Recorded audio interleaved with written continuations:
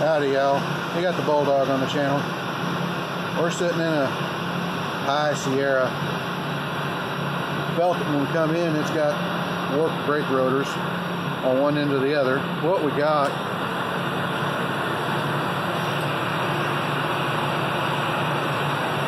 got the back end jacked up, put it on jack stands, and it's in drive right now.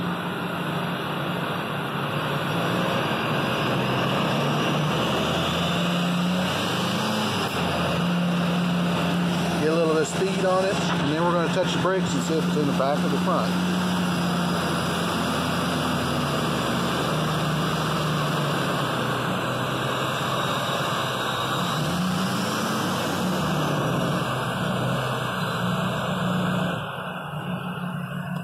It's in the back.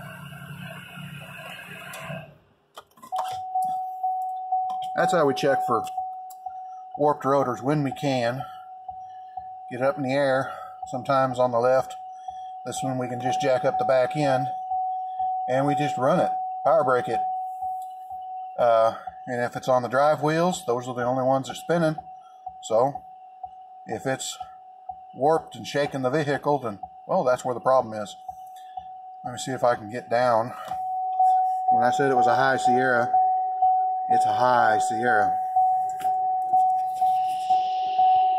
That's a long way down.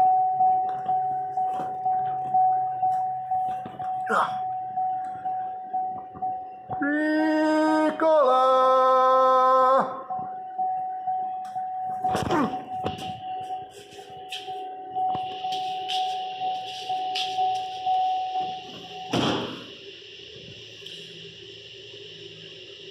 Lifted trucks look cool, but honestly, I don't like them. I mean,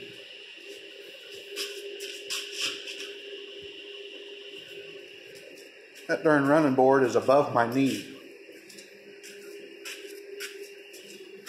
But what we do, pick it up, put it on stands so that it can't get away,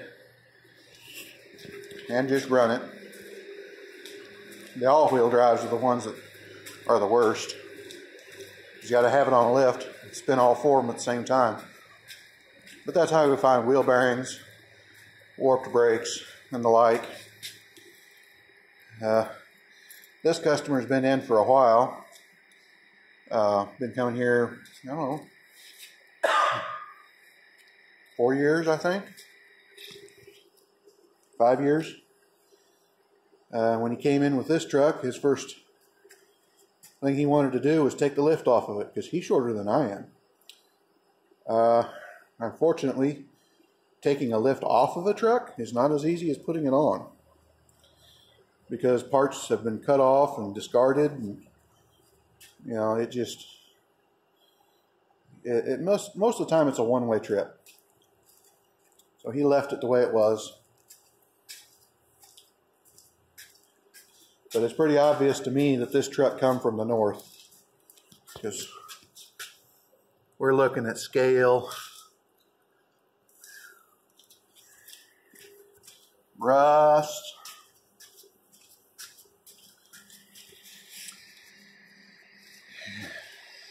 these diesels, if you need a truck, you know, they may make a heck of a truck, but boy, it's a lot of, a lot of money involved in them. When they got popular, it, uh, it shocked a lot of people that were used to gas because the repair bill on a gas truck is as high as you think it might be. It's nothing compared to a diesel. You really got to use a diesel to make it pay. But I just wanted to jump on here and show you, you know, how we check for warped rotors. Most of the time, it's in the front end because that's where all your stopping power is. But on these Chevys, well, all of the heavy trucks actually, they started going to disc brakes in the rear. You see a disc brake there. And because the rear end catches all the road salt, and everything, the caliper slides and everything tend to stick and you end up a lot of stuck brakes. They wear out. They uh, get hot and warp like this one has. So a lot of times we end up doing everything to it. So just a just a quick little deal. Like, comment, subscribe, use your little buttons down there, share it around, and talk with y'all later.